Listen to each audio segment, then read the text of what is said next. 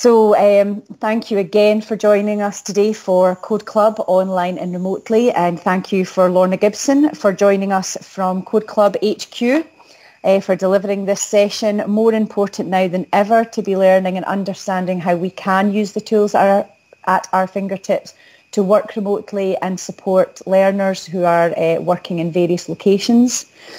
Um, let me just skip to the next slide. So just a, an overview for this webinar, very important that you're all chilled out and relaxed. You've got yourself a cup of tea, coffee, water, whatever. Um, we will get through this in 45 minutes. We will also stop for any questions.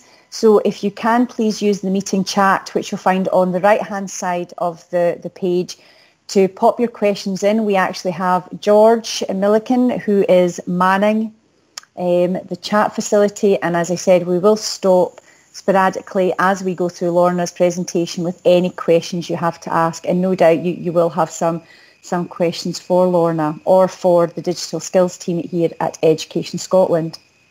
Um, my name is Louise Foreman. I'm an education officer uh, and part of the digital skills team. And this evening we will, um, I'll briefly go through an overview of computing science across the curriculum.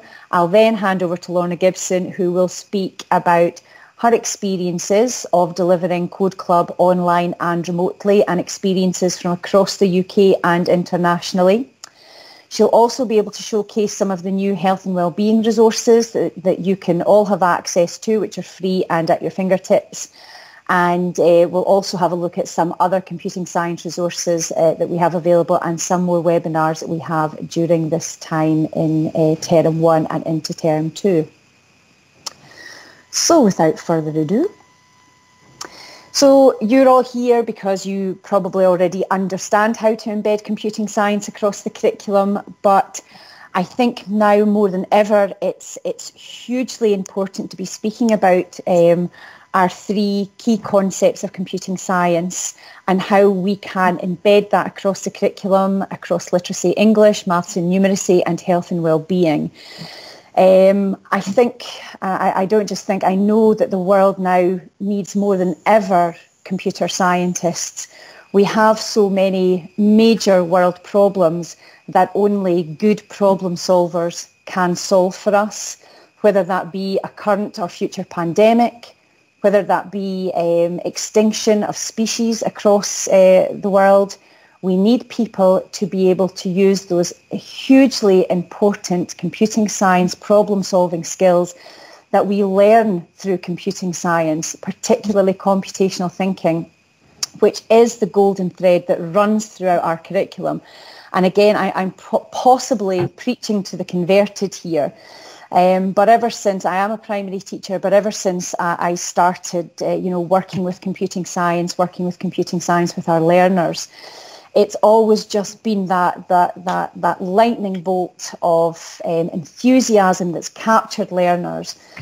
But um, all learners, females, males, young boys, young girls, um, have been hugely engaged in the activities because it's real life, and um, it's it's the resources are fabulous. Can I um, just make sure everybody has the, the mute on uh, because I'm he- just hearing some keyboard noise in the background. Um, okay, so that is like, you know, the importance of computing science. But again, I can't stress enough the, the importance of the computational thinking elements.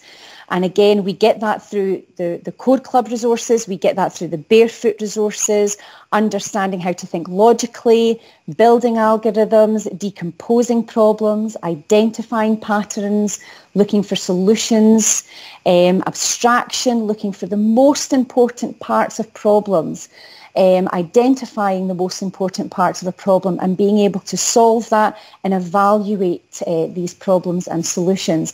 And again, Lorna's going to be able to show us through Code Club and how these Code Club resources can really support our computing science curriculum and how to embed that across the curriculum. So without further ado, I'm going to now pass you on to Lorna, who's going to share um, some of the wondrous things about Code Club. Lorna, would you like me to, to take you through the, the links, uh, the, the presentation, or are you happy to do it? I'm going to attempt to take control. I've not Great. done that, so we'll see. Thank you, Louise, and uh, thanks everybody for coming along today. Um, my name is Lorna Gibson. I have worked for Code Club now for um, over six years, um, and um, I'm just going to talk to you today a little bit about, I'll give you a quick 60 second whistle stop tour of Code Club for anybody who's not familiar and then I mainly want to talk about um, a bit of work that we did um, over the last month just talking to um, people who run Code Clubs all across the world looking at the different ways that people are already running them or are thinking about running their clubs uh, while we're still living uh, with the coronavirus pandemic. So quick whistle stop tour.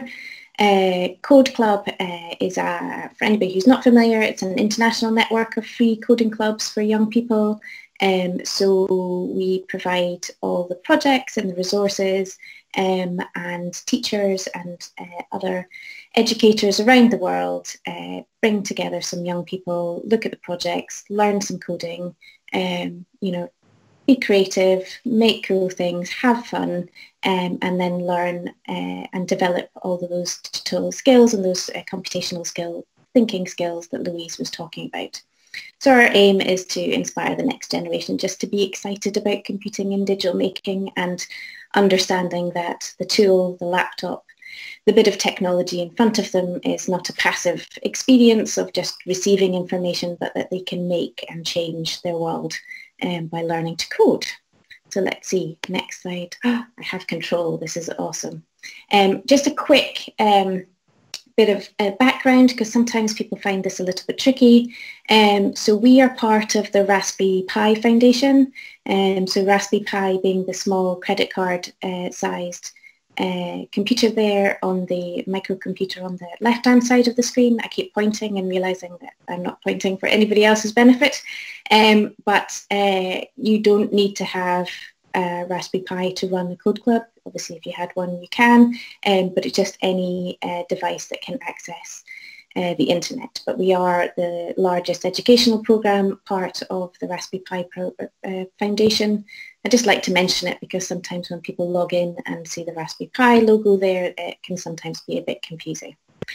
So over the last month or so, uh, we went out and were uh, reached out to our community. Um, we've been supporting our community throughout the coronavirus pandemic, but we uh, did a bit of research where we had a series of panel session, focus group style um, sessions where we uh, have to say it was my highlight week um, during uh, the whole of the kind of pandemic experience so far because I got to spend the whole entire week in uh, Google Hangouts with just amazing people from all around the UK, from all around the world and sharing and hearing about their experiences through this particular, um, this particularly difficult period of our um, shared our shared existence.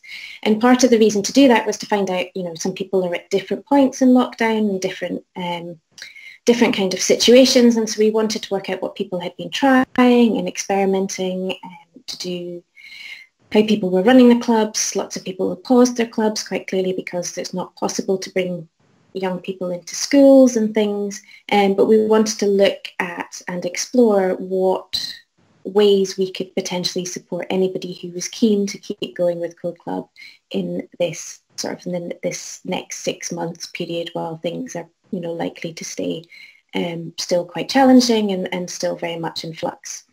Um, so from that, we identified three options, um, which I'm going to take you through um, today. So the first option is the one that's very similar to how the Code Club model worked anyway. Um, so we talk about that in terms of in-person sessions. So there was lots of people, um, so some parts of uh, Australia are coming out of lockdown, places like Tasmania very small, easy to control border. Um, so they're moving back to in-person sessions. There's some places, uh, one of my colleagues who lives um, in the southeast of England, uh, her school has been in touch with her list last week and they're going to go back to in-person sessions, although I think um, with slightly reduced numbers. So they're going to do it as cohorts um, of, of, a smaller number of, of young people. So when thinking about um, our general advice when thinking about in-person sessions is just, you know, being mindful of local, the local guidance, so the guidance for your uh, for your country, but also your school and your venue is likely to have a coronavirus plan about, you know, the number of people that they're happy having in the space, whether they're actually happy having adults coming in a space. Um, so if you have parent volunteers, that might not be possible for them to come in. Um, guidance around cleaning and all that kind of stuff. Um, so uh, that's the important thing to take to, to take into consideration with in-person sessions um, and in terms of um, I know that lots of clubs have been in touch with us, a lot of schools have been in touch with us because parents um, are now in a position to potentially volunteer more than they had previously with the change in, you know, not travelling to their workplace so much so that they're just down the road from the school. And again, you know, schools are very welcome to do that and they just adhere to the appropriate safeguarding um, measures that they would have in place anyway for bringing adults into a school, if that's possible, with relevant background checks. Um, I think that's probably the one that's least likely at the moment from, from what we're hearing, but maybe, you know, it was a, I was definitely surprised to hear about my colleague in the southeast of England being approached by her school, so maybe, uh, maybe things are changing. The second uh, example is the one that lots of people were doing at the end of last term. Some people have done um, things like this over the summer holidays. Um, and this is where it's an online session. So an online session typically takes place at the same time. So like a code club session would be Tuesday at three o'clock for my club in particular. Um, they take place at a certain period of time and either using a video conferencing tool, so maybe through Teams, um, or if you don't have access to Teams, some people use Zoom, um, or Google Classroom, um, or uh, sometimes a live streaming. So um, online sessions tend to work in, in two ways. One, it's just like an online club, so everybody joins on the video channel and they can ask questions. Slightly easier if you're all working on the same project, but so not everybody does it like that. Um, but the people can be there and asking questions or the live streaming one is where you've picked a particular project and you are talking them through doing that step by step as a very scaffolded um, handhelded way, handhelded, handheld uh, way to uh, work through a project. Um, there's been lots and lots of people uh, running online sessions, so uh, what we've done is try to collate as much as possible some best practice um, from things that have worked and not worked. Um, so we do have a document there and these links, uh, Louise said, are, have, been shared um, and I'm sure she'll remind you at the end where they are. Um, there is some guidance there which brings together some of the tips and tricks um, best practice for running a club, online club. So examples where people have used like a Kahoot quiz to warm up as an icebreaker ex exercise or halfway through looking at a project to, you know, test and identify whether people are understanding the different components um, from the code that they've been using. And then the third example um, is something which were called remote activities. So where the online sessions all took place at the same time, so it was a synchronous session if we want to use some computer science words, this is much more asynchronous. So this is where you might have a team channel for your club and uh, on the Monday you send out, here's the project that we're going to be looking at today, you know, ask your questions in the channel um, and, you know, the conversation happens asynchronously. So the young person picks and chooses when they have a look at the project um, and um, might share back what they've been doing or ask a question about something that's not particularly uh, gone well. And often they accumulate, accumulate, accumulate's not quite the right word, often they come together like on a Friday and everybody shares uh, the projects that they've been doing and you can see where, where, people got to and, and, and, the things that they've done. So similar to the online sessions, we've also uh, been chatting to people who have been running remote activity style sessions and we've got a series of, of, of best practice, a series of tips and tricks from people who have been running this over the last six months of ways that they have um, engaged and uh, supported uh, the young learners. The other way that people have done remote activities um, is where instead of a live stream where you're coding along with them uh, there and then, is to share a video of themselves going through a project.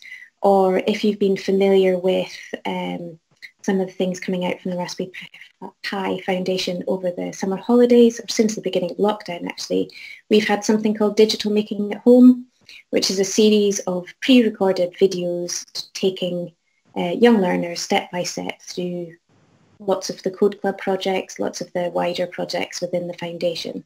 So I've seen um, a lot of libraries over the summer holidays have shared, you know, one of the digital making at home videos as the remote activity. The young learners ask questions during uh, during the week and then they share out uh, the projects or you know, post their projects at the end of the week. So there's three main components. Um, but the really important thing here is to talk about the fact that um, not everybody's the same, not every situation's the same. We are probably likely to be uh, living on a spectrum um, where we're kind of fluidly moving between different things. There'll be points where classes and potentially schools will have to move to blended learning or completely at home. Um, and uh, so those three options are as fluid as the current education system, basically. So there are lots of people that are doing mixing and matching at the moment. So we kind of do see it as a bit of a pick and mix. So um, there's people that uh, can't have the whole normal code club in a space at the same time. Um, so they're doing half the club in person and half online and rotating that round, either two week blocks or one week on, one week off. Um, and then we have lots and lots of people who are sending home a remote activity, so they're sending home a project and then coming together for an online video session to share their learning and uh, you know showcase the work that they've done at a different point in the week. So perhaps a project home on a Monday and uh, come the Friday there's an opportunity to come and say, you know, what they find challenging, what they learned from the experience and showing off their amazing digital uh, creations. Um, so I suspect that's probably a good uh, point to stop and just see if anybody has any questions. I didn't manage to get the question thing up on the side, but I'm sure somebody can help me. So we haven't had any questions from anyone yet. However, I have noticed quite an influx of people coming in in the last 15 minutes. Okay. So I just wondered if there was any questions from anybody, you know, new coming in, if you want to just type that in the chat area, or if anyone, you know, if you, you're sitting there at the moment and you're thinking, well, you know, I've actually got a different situation, please feel free to to pop the question in or even just ask the question now. We, have got quite small numbers. We've got 25 people um, here uh, in the chat room, so feel free to, to ask Lorna away or what we'll do is we'll just allow Lorna to continue with the presentation and uh, ask questions at the end. So we'll, we'll just give you a couple of seconds there. I'm sorry if I keep changing the slide there. I was trying to work out how to get the chat to come up the side. just technology. Okie doke. I think what we'll do is we'll, we'll, just continue the presentation and we'll ask questions or you'll be able to ask questions at the end if you have any. Okie doke. Absolutely. Thank you, Louise. So, um, so that's really, um, and I'm really, really conscious about time. So I'm hoping I haven't um, gone through those options too much. Um, you're always welcome to reach out to me. Um, I just, there's a few other things that I thought I would share with you and then maybe there's an opportunity for a bit of discussion at the end. So um, as always, um, if you're already part of the Code Club community, there's a whole host of um, resources available. Um, we made some new resources, some new certificates at the end of last uh, academic year, which are digitally editable. So um, if you have been doing even just a little bit of coding um, with your young learners and you want to celebrate success, and the achievement that they have, then they are in there and um, you can, unlike the older ones where you had to print and write the name on, these are digitally editable so you can add the name and then you can distribute on Teams so it can be completely paper free, which I know that some local authorities are preferring. Um, I'm really, really excited to tell you uh, about this, this next thing. Um, although the animation uh, at the bottom is not working, but that's fine.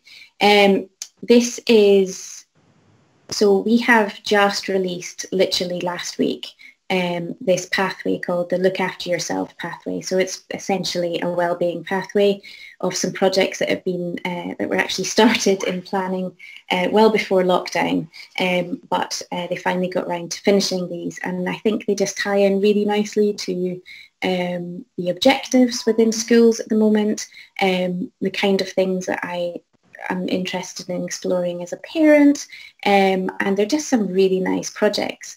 Um, plus the fact that, you know, if you have been running a code club previously where everybody was all over the place doing different projects at their own level, this is a nice new set of projects that allow you to come together and um, you know, do something all together in the shared experience. So there's six projects based in Scratch. The link is there so you can see the link. At the bottom there you can see the butterflies. Normally the butterflies are floating around. Um, that was a that was the second project which is about making a kind of zen mindful butterfly uh, garden that flies around um, and is beautiful to look at. And we also have a Code Club uh, certificate um, on the dashboard in Code Club uh, to celebrate going through these well-being projects. Um, so I experimented, uh, I have a nine-year-old um, who had a bit of a tough day at school last week, last Thursday, um, and so we uh, we didn't do the stress ball one because that was a bit noisy. Um, but we uh, looked at the butterfly garden project, and actually it was a really lovely shared experience and a good chance for me to be familiar with the resources there. So um, if they are remotely interesting uh, for you to use either in your classroom or in your code club, I really encourage you to have a look and if you want to use them, just uh, crack on and, and, and carry on. I think they're, they're a lovely resource and a nice way to, um, to bring some health and well-being into, into coding. Uh, the other thing, uh, which is also was an animation, it's not working, that's fine. We can always cope with these things. There's a new thing, um, a new social uh, series which is launching this week called This Great Thing.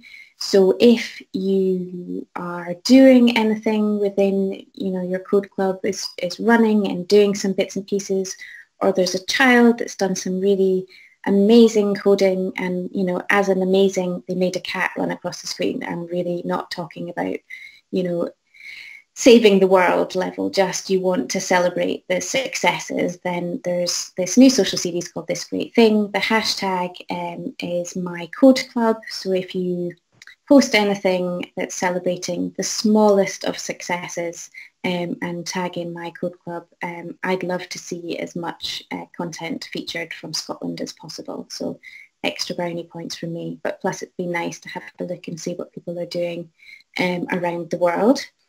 Um, I've added some useful links in here. So that's the direct link to the Code Club projects, just if you've not seen the Code Club, uh, Code Club, Code Club projects before, please jump in and have a look. Um, that's the link to the digital making at home stuff. So uh, it has been running uh, weekly since uh, pretty much the first week of lockdown. At first they were doing videos for three projects um, a week, uh, which was a lot. Uh, so they're now just doing uh, one pre-recorded video and one live stream which takes place on a Wednesday at 5.30 I think um, and uh, they might go down, reduce it down as the year progresses and as uh, things stabilise a bit more. But there's a wealth of resources and projects, avail- uh, videos of projects available through there. So that's something that you certainly could could use and send out without um, any work on your part at all. And then also uh, teach computing resources. So just a quick shout out. Um, although these resources at the moment um, are very much um, scaffolded in the key stages, and there's some really great resources in there both for um, the current situation and blended learning and, and, bits and pieces for your computing curriculum. So uh, if you're interested, I would definitely recommend you have a wee look.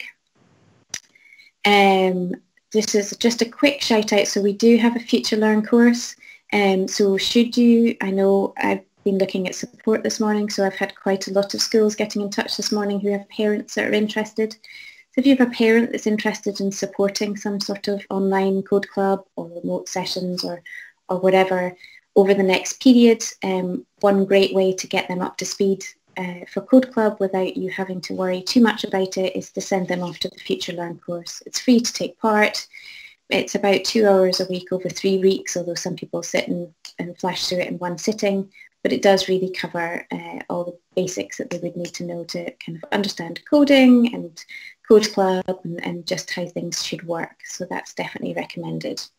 Um, and here's another point for questions. So are there any questions? Is anything I said unclear? I'm more than happy.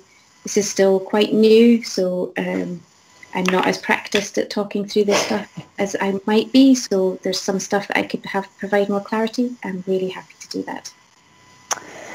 Thanks very much, Lorna. Um, we have a few new folk who have just joined us as well. So if there's anything that you would like to ask questions on, and I just actually wondered, you know, is anyone actually running a code club at the moment that's remote um, or online? Uh, are you getting questions? Because I know there's some local authority folk here as well. Um, thanks, Ashley. Sounds amazing. Love the look um, of the, the projects. The projects do look really good and we're super excited about the, um, the health and wellbeing resources as well. So we will be sharing them far and wide. This presentation can be fi- found in the files section of this, this team site um, and it's in a folder called Computing Science. And as I said at the beginning, all our computing science presentations will be shared in there. Great. So Ashley, we're hoping to start an online Teachers Code Club to hopefully encourage them to start their own. That's a, such a good idea, Ashley. Yeah. And you'll be in contact with Lorna, I'm sure. I'm not. It's really difficult when you're delivering because we usually speak to people face to face. This is very odd for us.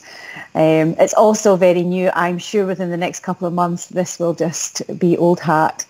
But um, that sounds really good. But no, as I, uh, Ashley, I'm sure you're in contact with Lorna because that's something that does sound really quite exciting.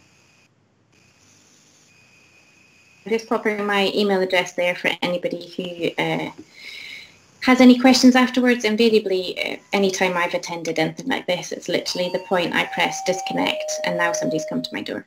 Um, as soon as I disconnect from uh, the call is when I have my questions.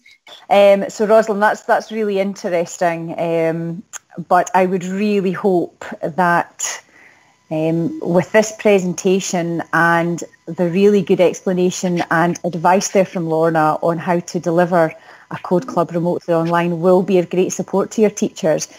Um, so I don't know, Rosalind, if you would be able to share this presentation. We will also be creating this video into a more of a bite-sized video and we'll be able to share that as well and you'll be able to allow the teachers to watch it again. And Brian has come in and asked, does it cover more than Scratch programming, Lorna? So the projects, the well-being projects at the moment are just based in Scratch. There are six Scratch projects. But in terms of Code Club projects, we've got projects uh, for Scratch, we've got projects for HTML and CSS, for Python, for Blender, Sonic Pi. There's a whole range of projects there and um, the team that develop content um, have been using the lockdown time to their advantage. So there are lots of new projects coming out over the next couple of months um, that extend uh, beyond Scratch as well. But in terms of the, the wellbeing projects, um, they decided to focus solely on Scratch just to have the widest possible audience because Scratch is a great uh, starting block. Um, starting block is block based, but you know it's a good starting programming language because it's block based. Excellent. Uh, Mrs. Lindsay has said that she's not running one yet, but would like to engage more staff with coding and hopefully create an online pupil club. And uh, she said the health and wellbeing resources look great. Yeah, so I mean, as I said uh, already, those health and wellbeing resources, you don't have to be in a code club to use them. If you think that you can uh, if you think that you know even just one of them would be uh, relevant and useful as an activity at any point in your uh, class learning, um, then please feel free to use them because uh, you know there's nothing about the, the Code Club projects. Uh, all of the Raspberry Pi projects are open source, um, so we're not prescriptive about that at all. Again, I'm also quite aware that a number of people have just joined us in the last 15 minutes, so I'm not sure if you want Lorna just to just to do a recap of the online and remote learning again, just a, a couple of sentences, just explaining how, how that's worked again across some schools, just for those folk who have joined us. Okay, let me just try and work out how to go back. I'm now stuck in the chat window. Hold on a second. Um, so uh, just very quickly, um, we've been speaking to people across the globe about the different ways that they have been uh, running um, clubs. Um, and so there was three identified, now I've broken it, um, three identified uh, ways that people have been running. Um, and uh, one of which is in person. Some people, we're not there yet in Northeast Fife, but some people uh, are actually looking to go back to in-person sessions, although with uh, certain measures in place and reduce numbers. Um, some people have been, uh, throughout this period, been looking at online sessions.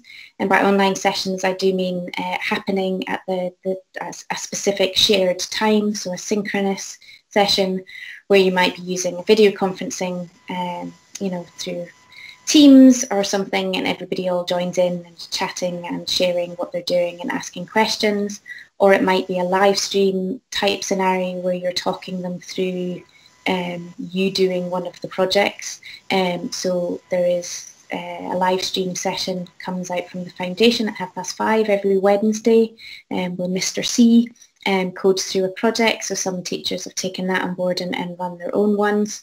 Um, and then the third variant is uh, remote activities, which is a little bit more asynchronous. So you might have a team um, where you might have a team for your code club and you send uh, you not quite set an assignment, I guess maybe it's set as an assignment, but you send out a project um, that uh, people, young people can do in their own time. Now sometimes that's just a project as in shared link from the Code Club project site, or sometimes it is uh, actually a video walkthrough that somebody has produced themselves, or they've accessed uh, the huge range of ones that are available through the Digital Making at Home um, channel, where they've done a lot of coding walkthroughs of a lot of the existing Code Club projects.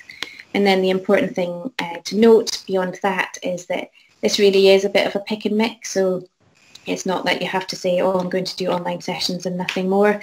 Lots and lots of people are doing a mixture of them. So they might be doing, uh, so there's lots of the libraries um, in uh, Western Australia are doing uh, an option where they've halved their club in half and so half get to come in as an in-person session and the other half do it online and they rotate round because they can't have everybody in at the same time.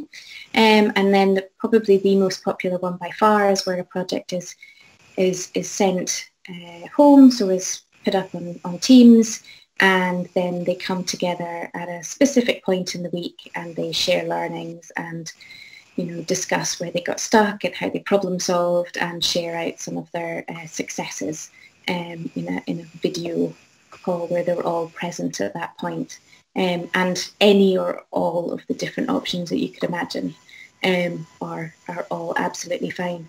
So in and amongst those different um, links, if you look back at the presentation, there were, um, we did collect uh, so you can see there's a link there for the club uh, virtual club guidance. So um, we have uh, spoken to lots and lots of people that are running these kind of um, clubs so that we could bring together the tips and tricks of what's made their clubs successful, what things they've found difficult and their solutions to that. So um, everything from um, you know playing some background music in your online club when you know people are busy doing things so it doesn't feel so eerily quiet um, through to you know having a Kahoot quiz to uh, test where people are at and uh, as a bit of an icebreaker session um, at the start. So um, yeah, that's the kind of the whistle stop tour of the types Thank of clubs.